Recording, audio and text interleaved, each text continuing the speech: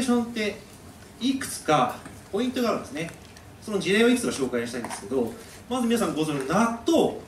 豆が煮豆がねあの弥生時代のわらぶき屋根の下の中で落ちててたまたま腐っちゃって食べたらお美味しい。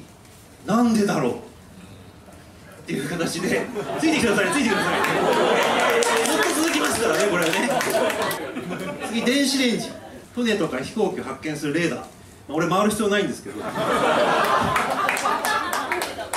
でレーダーを作る人が開発者がここにポケットに飴玉を入れてたんですって。である周波数、まあ、電波ね時に飴玉溶けてる。なんでだろうです。なんか物を温めるものを作ろうと思って電子レンジができたんじゃなくて何かの他の目標に向かった時に電子レンジというものが開発されたって言われてます。皆さん大好き回転寿司。お寿司屋さんでカウンターが長いですよね。である時職人さんが足んない時があったんですって。でその時にある悪い職人さんがカウンターの上を皿をパーン投げたんですって。でその時にあこのカウンターが長いのが流れていれば職人さんが人手不足でも足りるんじゃないかっていうことを思いついて回転寿司ができたんですって。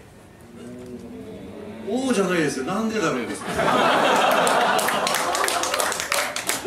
ポテトチップスあるレストランでですねポテトフライよくあるちょっと厚切りにしたやつがあってこれをレストラン出してたんですって。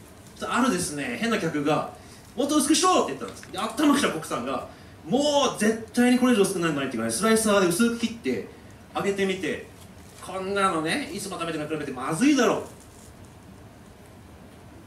う。なんか美味しかったんですって。